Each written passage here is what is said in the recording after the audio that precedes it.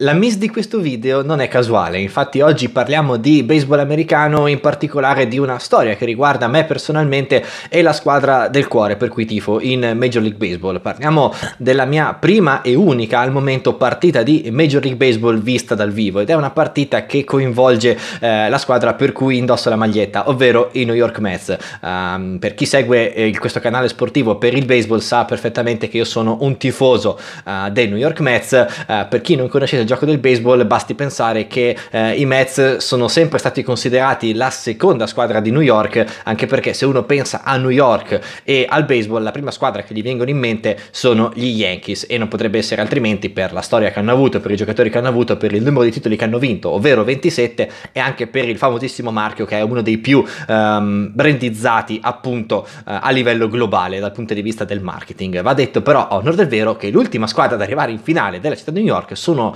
stati proprio i New York Mets nell'anno in cui ci sono andato io, nel 2015 persero 4-1 contro i Kansas City Royals. Uh, ma vi voglio raccontare più nel dettaglio quella che è stata un'esperienza per me eh, meravigliosa. Io sono un grandissimo appassionato di baseball, come ho detto già nel video scorso su Mika Hakkinen, um, è sempre stato il mio sport preferito da sempre, è il primo sport che ho fatto da bambino, ho fatto il mini baseball, ho fatto 500 altri sport, sempre a livelli veramente infimi perché, che, che, se ne dica, io a giocare sono veramente scarso per quanto mi impegni. Uh, poi, dopo aver fatto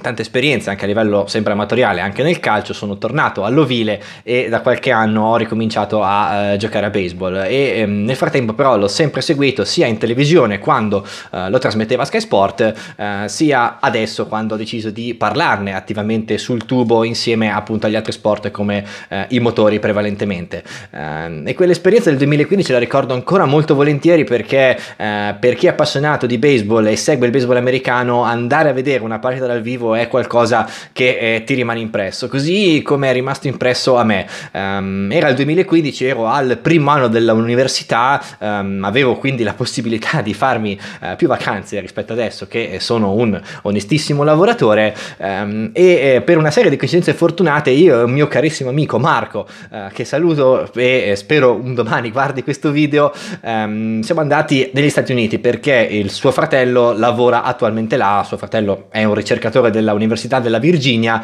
eh, e avevamo organizzato una sorta di tour per varie città. Eh, eravamo andati a Washington DC per andare a trovare appunto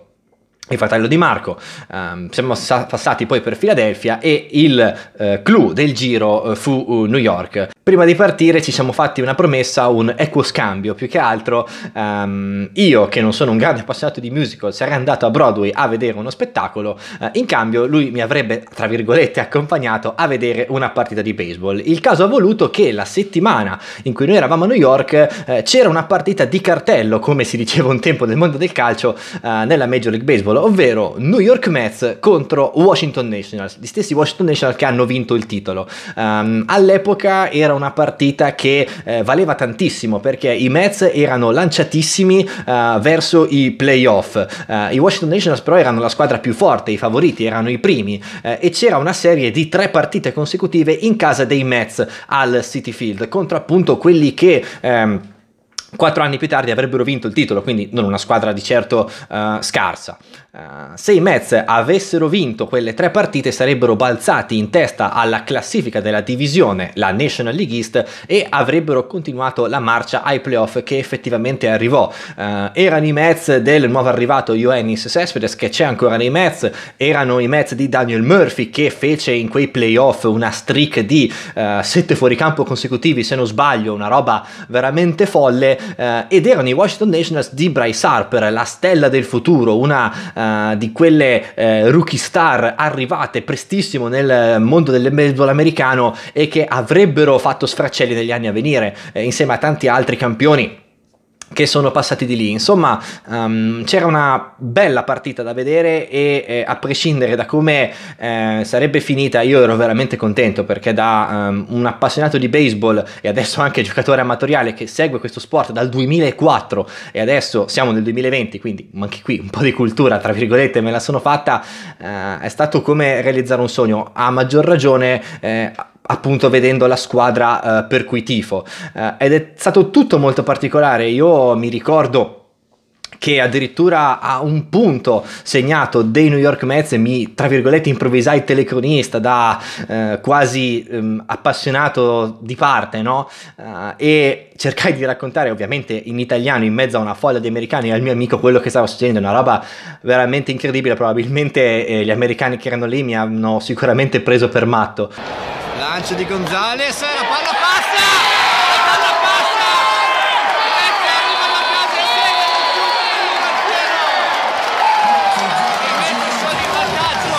Addirittura io mi ricordo nel pre-partita quando ci siamo avvicinati eh, allo stadio, al City Field di New York, ehm, proprio l'avvicinamento eh, a questa partita. Ed è stato carino perché dovevamo partire di fatto da Times Square con la metro seguendo la linea viola andare direttamente al City Field. E mi ricordo che eh, io stavo cercando di spiegare a Marco, al mio amico, eh, i fondamentali del gioco e ehm, chi potevano essere i giocatori eh, più importanti di questa squadra squadra che appunto era quella per cui ancora adesso faccio il tifo eh, e mi ricordo che in un discorso avevamo parlato di Ioannis Cespedes che all'epoca era un giocatore appena arrivato, un giocatore veramente molto forte. Eh, e io mi ricordo che praticamente in metro di fianco a noi c'era un eh, signore che penso fosse un impiegato di banca, comunque era un signore ben distinto in giacca e cravatta che eh, pur non capendo l'italiano ma capendo la situazione, cioè io che stavo spiegando al mio amico eh, i fondamentali del gioco e eh, in che posizione erano i New York Mets, che squadra erano i New York Mets, è intervenuto nel discorso e io e questo signore in inglese abbiamo parlato uh, delle possibilità dei Mets di andare ai playoff e di che giocatore poteva essere Cespedes, di come Cespedes avrebbe potuto incidere uh, su questi New York Mets. Io parlare con uno semi sconosciuto in inglese di Cespedes, dei Mets, delle speranze dei playoff e di questa grande partita contro i Washington Nationals è stato veramente surreale ma al tempo stesso molto molto divertente ed è una um, piccola cosa di aneddoto che eh, ricordo con molto piacere. Eh, arriviamo, come avete visto anche dal video precedente Uh, che vi ho portato direttamente dal City Field, è un'immagine che ho conservato ancora uh, perché è veramente bella, uh, lo stadio era veramente qualcosa di clamoroso, c'era il tutto esaurito, era una partita veramente sentita e di cartello per i motivi che vi ho detto prima e fu una partita veramente tiratissima, una partita che i Mets hanno mh, tenuto sull'1-0 per gran parte del match, poi i Washington Nationals mi ricordo riuscirono a pareggiare e arrivarono ai, alla fine degli inning regolamentari supplementari al nono inning quindi sul punteggio di 1-1. Eh, nel baseball per chi non lo sapesse, eh, così come in tutti gli sport americani, eh, tranne in alcuni casi il football se non sbaglio non si può finire in pareggio e dunque ci sono i supplementari, gli overtime. Il baseball non va a tempo ma va a inning e in questo caso finché una squadra non risulta vincitrice si continua ad andare avanti e dunque anche in questo caso si andò agli inning supplementari, agli extra inning e questa partita proseguì fino addirittura al dodicesimo inning, quindi al terzo inning supplementare, quando la partita si concluse nel modo più bello possibile per chi ehm, gioca a baseball, ovvero un fuoricampo vincente. Eh, a realizzarlo, mi ricordo, fu Wilmer Flores, giocatore che eh, ha fatto qualche anno nei Mets, poi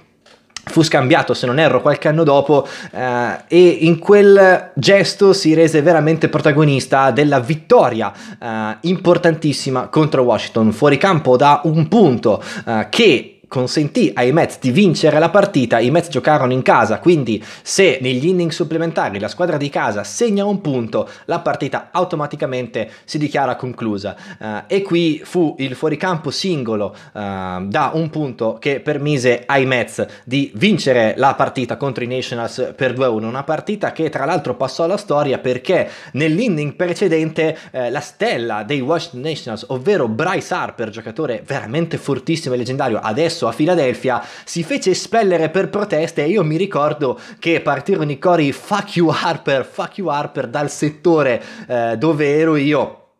e poi seguito da tutto lo stadio City Field. Eh, da lì appunto la partita um, andò in direzione dei New York Mets che probabilmente approfittarono del momento psicologico dei Nationals che persero il loro leader tecnico eh, in quell'occasione e vinsero 2-1 col fuoricampo di Flores che venne festeggiato come un qualsiasi vincitore in una partita di un walk-off home run. Veramente una sensazione bellissima, fu una partita anche molto di tensione perché appunto eh, una partita in bilico, non è una partita che finisce 11-0 eh, con un dominio predominante di una squadra sull'altra. Qui veramente erano due squadre veramente equilibrate che se la lottarono fino alla fine per arrivare ai playoff. Alla fine ai playoff ci arrivarono i New York Mets, arrivarono addirittura, vi dicevo, fino alla finale alle World Series che però persero 4-1 contro i Kansas City Royals. Però quell'esperienza del City Field io me la ricordo veramente con eh, tanto affetto e con tanto piacere e sono stato eh, contento di eh, proporvi quella che è stata la mia personale esperienza eh, in un campo da gioco eh, di baseball americano e veramente spero con tutto il cuore di ripetere un domani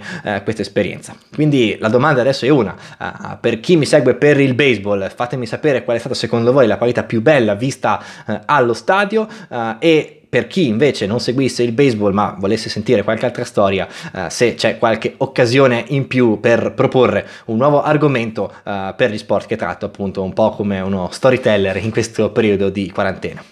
Dunque il saluto ancora una volta da parte di Matthew Torgart e ci vediamo dunque a un prossimo video.